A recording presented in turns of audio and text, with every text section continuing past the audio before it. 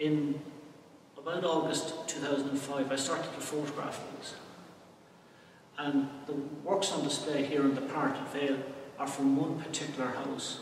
I started to read the letters that were there. And it, slowly the whole project didn't become about photographing abandoned houses. It became about the stories. The whole axis of, of the, the series changed and finding out about the people who were in there. And letters were a great way to do that.